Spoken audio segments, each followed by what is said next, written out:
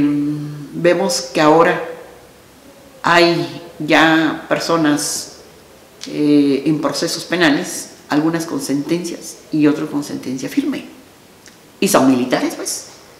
Entonces, ¿qué viene ahora con el Congreso que tenemos en Guatemala, que están el, el 90% de los congresistas son impresentables para nosotros los guatemaltecos?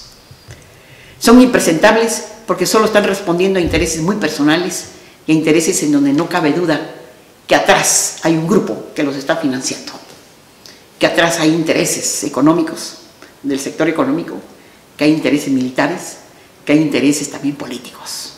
¿Por qué?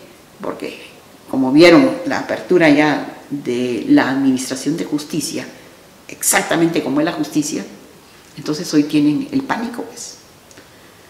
Y entonces hoy, se, hoy este tipo de, de, mm, de congresista, congresista que vive en la mafia, ese congresista que incluso debe estar hasta financiado por el narcotráfico, financistas que también están por ahí, cierto sector económico.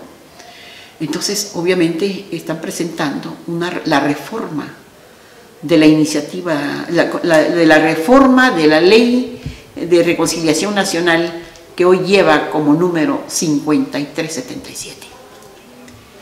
Este, esta reforma, como ellos la plantean, realmente contraviene el derecho interno de Guatemala, contraviene la Constitución y contraviene el Código Penal y otras leyes, pues, incluso la ley, aunque es específica, pero la contraviene, la ley contra el femicidio y otras leyes, pues, ¿verdad?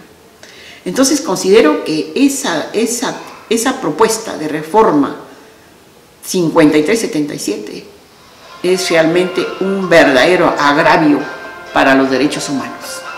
Es retroceder 50, 40 años. Es volver otra vez a esa locura. En 24 horas están ya.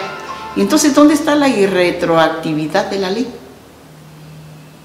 Entonces, esa es otra, otra violación también a la misma ley que tenemos que nos mandata justicia. No, no hay eh, retroactividad a la ley, aunque, por otro lado, la ley de reconciliación en cualquier parte del mundo, todos aquellos responsables al crimen de lesa humanidad, o al crimen, a los crímenes de genocidio, o a los deberes contra la humanidad, sí deben ser sancionados.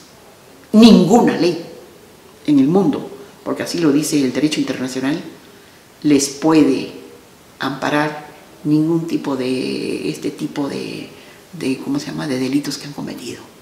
Entonces, no hay ningún privilegio para ellos en ninguna parte del mundo. Es sancionado en cualquier lugar. Entonces, creo que esta, esta propuesta de reforma a la ley eh, de reconciliación 5377 es un atropello a la justicia, es un atropello a las víctimas, incluso para la misma paz que queremos en Guatemala. Entonces yo creo que no podemos admitirlo, la ciudadanía consciente y clara, caiga quien le caiga pues.